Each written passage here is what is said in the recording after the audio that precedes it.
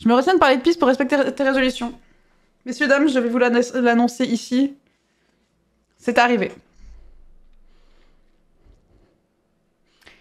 Il est arrivé un moment. Et je suis la seule du groupe.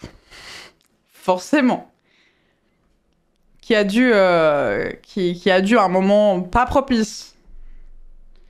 Se soulager. J'ai essayé de voguer ça. J'ai pas réussi. Donc, vous aurez pas le vlog de ce moment. Euh, le seul moment dans notre semaine où nous, étions dans le territoire des ours. Je décide, je choisis bien mes timings.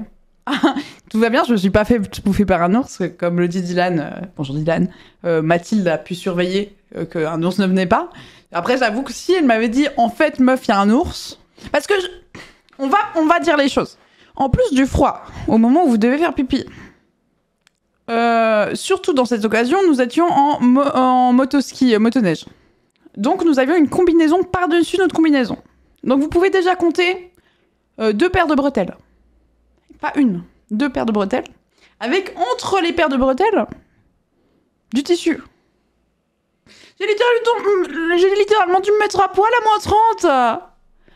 Ouais, c'était super. Mais suite à quoi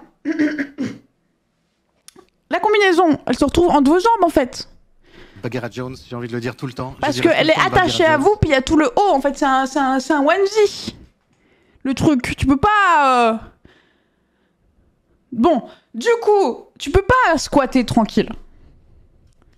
Tu peux pas. Puis soit tu, tu peux pas être mouillé, c'est terrible. Tu peux pas squatter tranquille. J'ai dû faire le pont. Mais j'ai dû poser mes bras, quoi. J'étais en pont, quoi. Bref, mais euh, je m'en suis bien sortie.